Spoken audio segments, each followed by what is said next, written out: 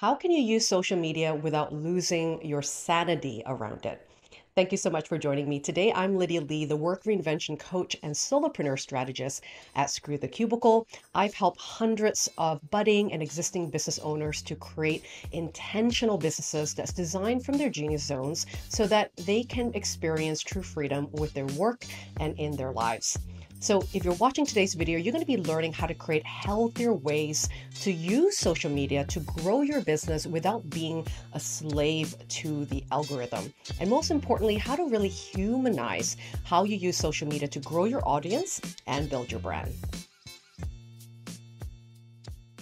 If you are new here, welcome to my channel. This channel is dedicated to helping you to transition out of the nine to five and create a meaningful business that is an authentic expression of who you are.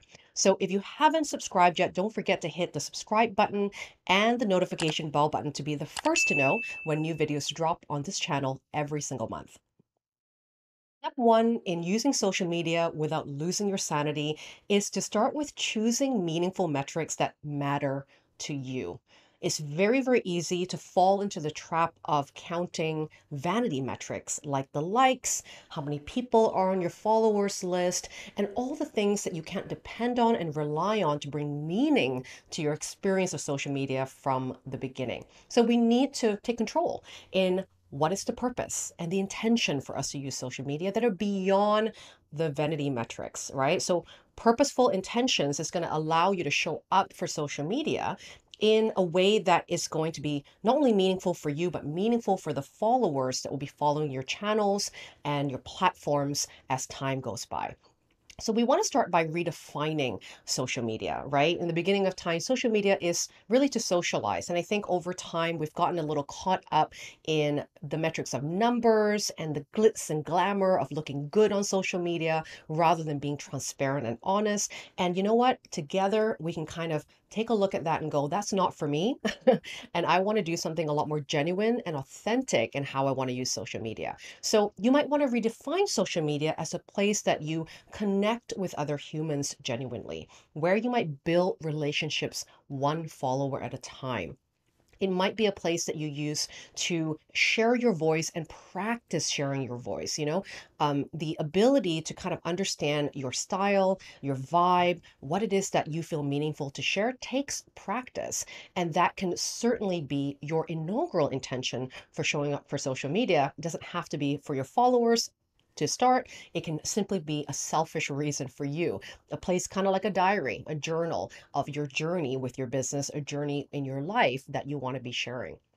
And you can build this platform off social media, whatever platform you're in, sustainably. You don't have to focus so much on the big numbers to start and really, really focus on the fact that people who are following you are the right people and that, you know, the the quality of the followers are so much better than the quantity of the followers. So in my example of my own business, before I started to really think I needed to kind of throw away social media and never use it again, I really explored different alternative ways that are meaningful to me. So I thought about how I connect and build relationships and friendships in real life. And they're usually one to one, right? I like to speak to people. I like to have deep conversations with people. And the way traditional social media was taught to me just wasn't really hitting the mark for me. So, little things that I did were things like when I had a follower that I thought was a great fit to be on my channel, I would send them a personal voicemail. You might not know this, but there is a voicemail option in the DMs of Instagram, even on Facebook, on LinkedIn, that you can send a quick 60 second or shorter voicemail to your audience. And when people can hear a personal message, it feels intimate, it feels real. And let me tell you, people are really surprised and they do reply back. And it really helps with creating that authentic connection to start with. And when things feel authentic to your people, they're going to respond, they're going to remember you. And most importantly you're going to stand out from other you know social channels that are not doing that and acknowledging that that person is a real person Another way that I use social media for my benefit is to use it as a way to test my ideas, right? I looked into teaching what I know. I looked at ideas and concepts that I was creating. And instead of just guessing if I think people should know this or is this important for people to learn, I shared it on social media in a little IGTV or a video on Facebook or a live stream, something real simple that I can just show up for in my strengths and just start sharing and teaching something, right? And when I could teach things about my work, teach things that are valuable, it gets me feeling pressured of just needing always to share about my day and all the random things that people do on social media and to do something kind of relevant and valuable to my audience. And I only show up on social media when I have something to say. I don't need to show up every single day. And that might be a way that you might do it too to maintain some sanity in having spaciousness with how often you're working on your business versus being on social media. So feel free to share insights when they arise, not pre-planned, not pre-scheduled all the time. If you're a little bit more impromptu like me, that might be a much healthier way to really show up for social media.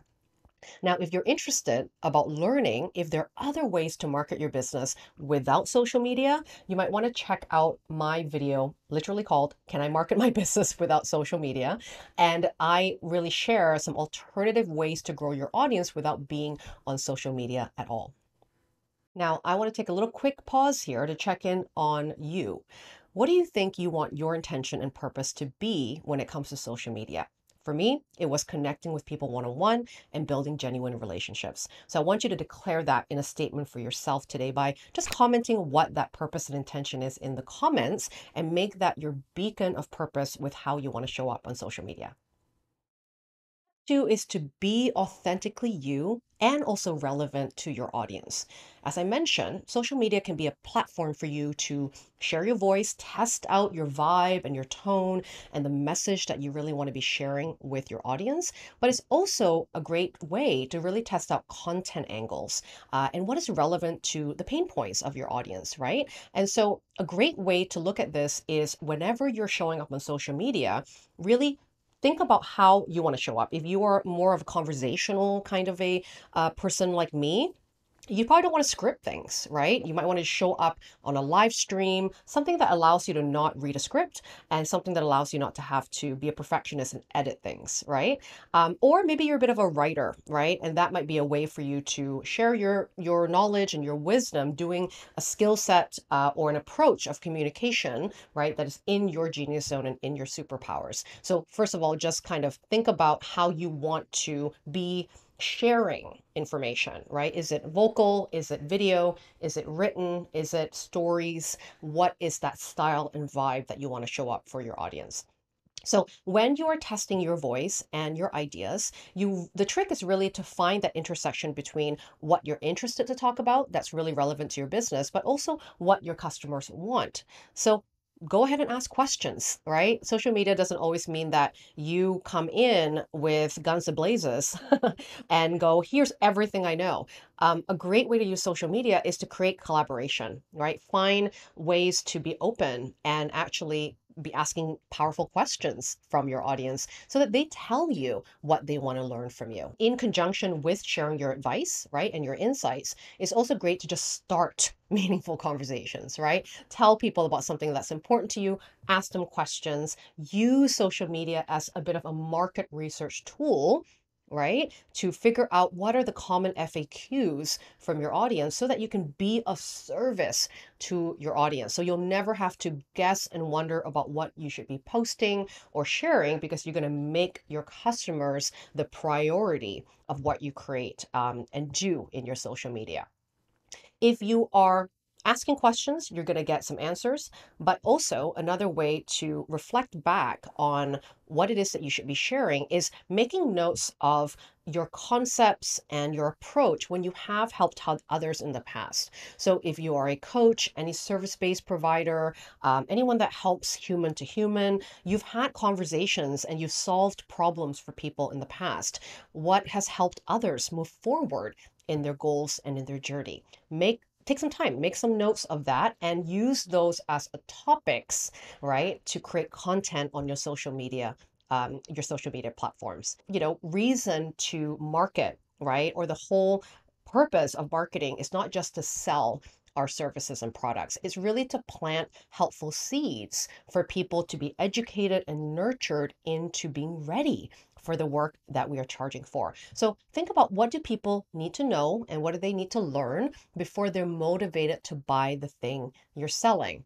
What's that pre questions? What are the pain points that really they're so stuck on that you need to talk a lot about on this inaugural stage that they're seeing you in social media in order to nurture, educate, and then convert them to learning more about your business. So talking to your customers is really important, right? Getting the insights from the very people you're hoping to help is really important to learn how to create content better on social media. Um, and if you are wondering how to do that, how to talk to customers, how to create market research opportunities through real conversation in order to know what to market and how to market your services, you might want to check out my market research interview, how to use proper market research to find out what people want to invest in and buy. And I hope that that's helpful for you in content creation for your social channels. Step three is to be consistent in how you're showing up in your social platform.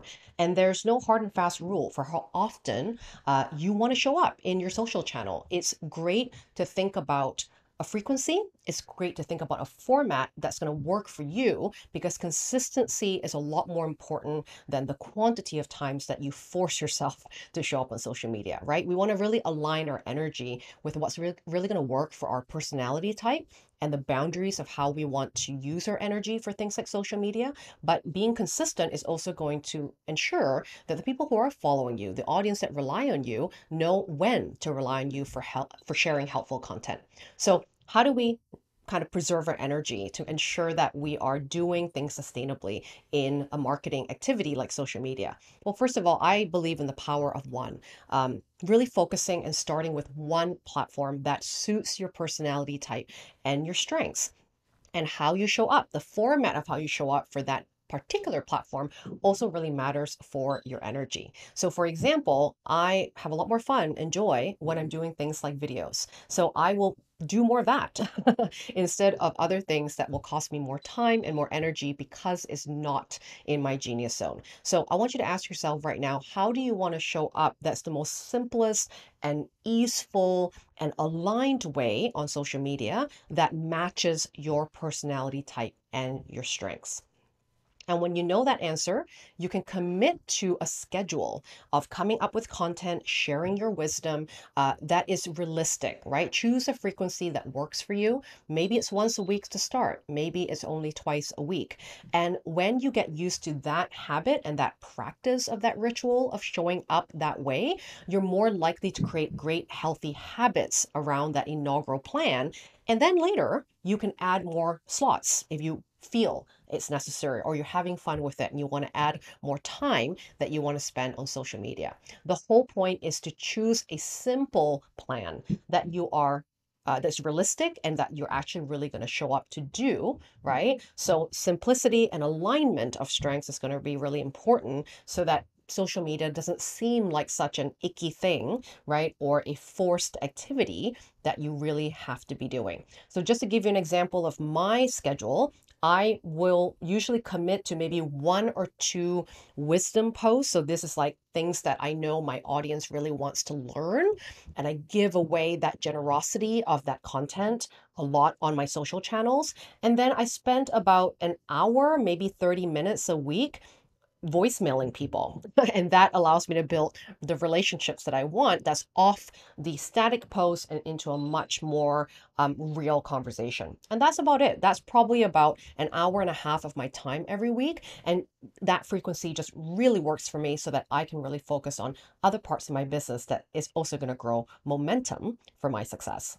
All right. If you found this video helpful today, I would love to know that you did by liking this video and subscribing to this channel so that you get more content like this that can be helpful in your business building journey. And of course, don't forget to share it with someone else that might benefit from watching this video today uh, by just sharing the link for this video and hopefully it'll be of value to them as well.